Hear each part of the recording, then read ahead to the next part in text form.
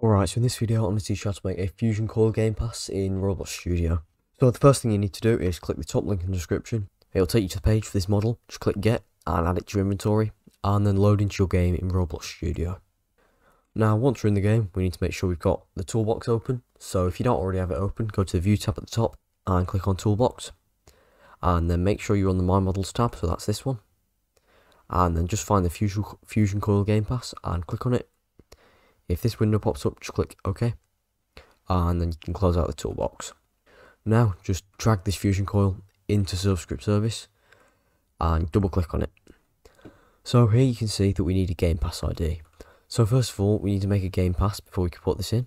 So to make a Game Pass, just find your games page on the Roblox website. You can do that by going to the Create tab at the top and then finding your game. So mine's Testing Place 2, so I'm just going to click on the Start Place.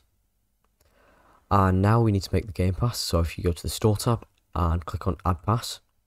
So first you need to add an image. So click choose file and then choose whichever image you want. So I can just choose this one and then give your game pass a name. So I'm just going to call it Fusion Coil. Then if you'd like to, you can give it a description and then just click preview and click verify upload. There you go, it says pass successfully created.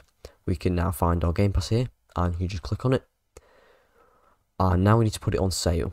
So how you can put it on sale is just click these three dots, click configure, and then go to sales. And then now we want to turn on item for sale and give it an amount, so a price, so other users can purchase it. So if I just make it 50 Robux, I can click save. You'll get 70% of whatever this price is because Roblox takes 30%. Then once you've saved this, just click go to details. And now we can get the Game Pass ID. So in the URL bar at the top, you want to copy this number. So if you just highlight it, you can then right click and click copy. This is the Game Pass ID. So now if we go back to Roblox Studio, in this script we can then replace this number, right click, paste, insert this Game Pass ID, and now we can close out this Fusion Coil script. We now though need to make sure of two things. The first one is we need to go into the starter player and make sure character use jump power is set to true. If this isn't set to true, when you use the fusion coil, the character won't get a jump boost. And now we just need to make sure that Studio can actually use Marketplace service to check if we have the Game Pass. So to do that, go into settings, go down to security, and make sure enable Studio access to API services is on. If it's off, just turn it on and click save. So now we can play test the game, so just click on play.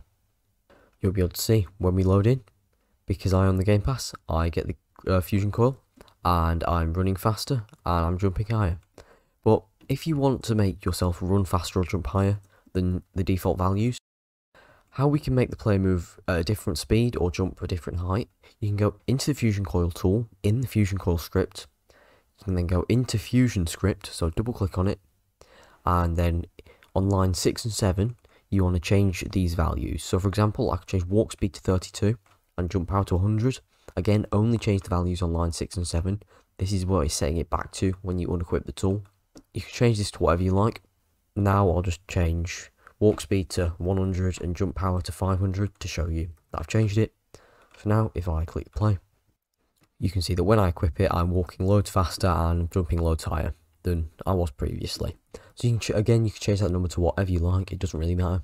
I could, I recommend, or I usually use 32 and 100 so 32 for walk speed, 100 for jump power, but it could be whatever you like. So that was how you can make a Fusion Coil Game Pass in Roblox Studio. If you found this helpful, then please subscribe. Anyways, I'll see you next time. Goodbye.